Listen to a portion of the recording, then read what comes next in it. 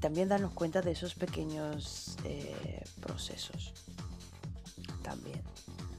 Eh, y también otra cosa importante, por lo menos para mí que me doy cuenta, y es cuando, que sí que todos tenemos nuestra lucha y esto y lo otro, pero es muy importante cuando estás saturado, en plan, vete a puto divertirte, haz algo que te divierta, ¿sabes? Aunque, aunque no tengas energía en ese momento, aunque no tengas ganas casi de hacerlo, porque estás tan en tu cabeza del resto de las cosas, busca la manera, en plan, empújate a llamar a ese amigo, a irte a ese sitio, ¿sabes? Empújate a hacerlo, porque a mí ayer me fui donde mi amigo y me dio un chute de energía, ¿sabes? Que yo llegué, te lo juro, me dolía la espalda, estaba cansadísima, venía de trabajar, venía con un bajonazo, digo, buah, tío, solo quiero una cerveza y, y, y tal, y me puse ahí y me tiré en el sofá mientras que le veía ahí y luego ya de repente me empecé a animar, digo,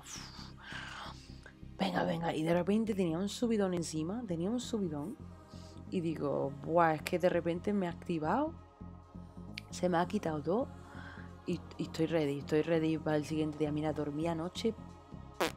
Yo creo que por, por ya estaba medio borracha o lo que sea. Y me dormí del tirón y me levanté, vamos, fresca, tío. Yo creo que también es eso, soy bien alcohólica, señores. O sea, no te digo en el sentido de borracha, pero sí que te digo en plan, me gusta beber. A mí, cada uno tiene sus sustancias y sus vicios, pero a mí me gusta beber, en plan. Yo creo que viene de familia, en plan. Una, cerveza al final del día no viene mal. Un par de ellos para dormirte te quita todo el insomnio. Real, ¿sabes? Pero bueno, esa es la vida. Voy a buscar un mechero que estoy buscando. ¿Dónde están? Son los genes. ¿A que sí, tío? Es que son los genes.